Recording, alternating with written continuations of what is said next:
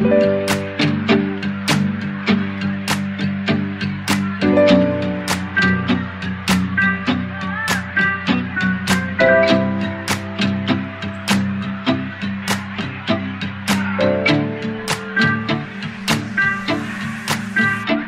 얘들아 종 쳤잖아. 얼른 자리에 앉아. 책상 줄 맞추고 교과서 좀 꺼내봐. 복도에서 뛰지 말고 사이좋게 지내야지. 지각 좀 하지 말고 숙제 좀 해오라고. 공부 열심히 해야 돼 후회 안 하려면.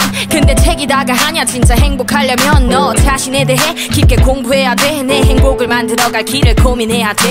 긍정적으로 살자고 가르치지만 사실 선생님도 툭하면 우울함에 빠져 뭐든 할 수 있지. 진짜 어려운 걱정적인 걸 소화하는 거야. 마음껏 울어 울고 싶은 기분이 들땐 그냥 깨물어 누군가 널 아프게 할 땐 다시 일어서는 법 그리고 화해하는 법 그리고 다시 웃는 법을 너는 잘 알고 있어. 해주고 싶은 말들이 많아. 잔소리로 들릴 걸알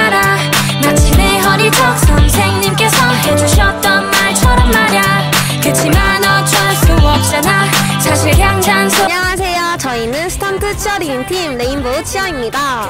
어, 저희 작품을 통해서 이 세월호를 계속 잊지 않고 많은 분들이 계속 기억해 주셨으면 좋겠고 저희를 통해서 가족분들에게도 힘이 되었으면 좋겠어요.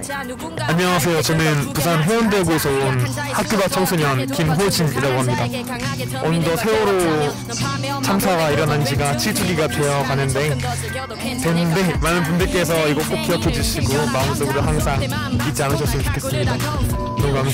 안녕하세요. 저는 4.16 가족협의회 어, 사무처장 맡고 있는 2학년 9반 진윤이 엄마 김순길입니다. 저희 자라는 청소년들의 창작 경연대회 시즌5에 참여하게 되는데요. 우리 자라는 청소년들은 안전한 대한민국에서 마음껏 자기의 꿈을 펼칠 수 있는 그런 청소년들이 많이 생겼으면 좋겠어요. 그래서 어, 이 경연대회에 참여하게 됐습니다.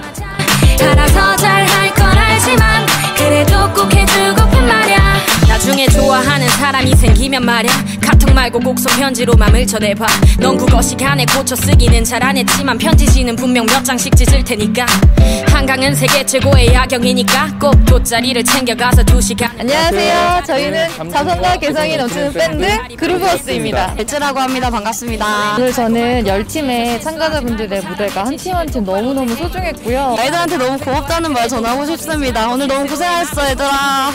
스무 살이 되면 꼭 선생님을 찾 아와서 맛집에 데려가줘. 술도 한잔하게. 쌤은 술을 잘못해 맥주 한 잔이고 자겠지만 빨개진 채로 마주보고 서보게 해주고 싶은 말들이 많아. 잔소리로 들릴 걸알